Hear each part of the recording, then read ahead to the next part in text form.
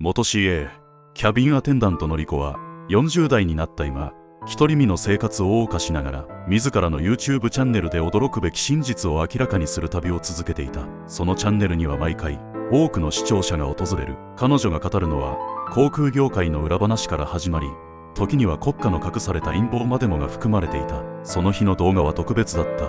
リコは視聴者に語りかけた。米国の機密開示文書からある衝撃的な事実を発見しました。JAL123 便が墜落した背後に闇深い理由が隠されていたのです。その表情には確信がありその言葉にはこれまで積み重ねてきた真実への探求が感じられた。リコが明かした内容は米国による日本の航空業界に対する圧力とその背景に潜む利権の存在だった。終戦後日本は GHQ による占領統治の中で自らの空を自由に飛ぶことを禁じられた。そして1952年に締結された日米航空協定は日本には不利な条件ばかりが押し付けられた。なぜ JAL123 便がターゲットにされたのかそれは単なる事故ではなく巨大な権力が裏で糸を引いていたからです。リコの声には悲しみと怒りが交錯していた。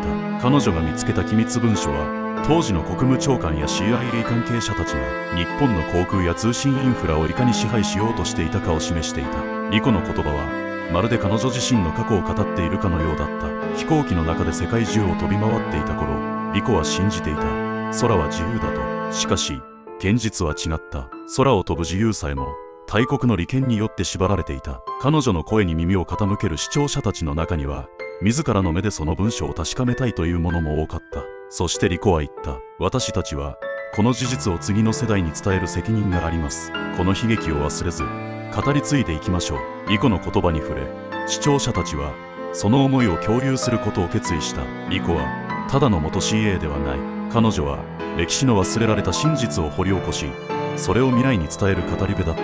そして彼女の動画は今日も再生され続ける。